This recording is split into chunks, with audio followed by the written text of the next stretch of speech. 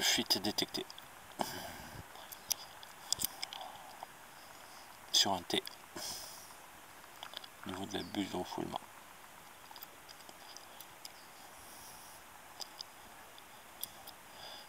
Tester la fluorescine aussi.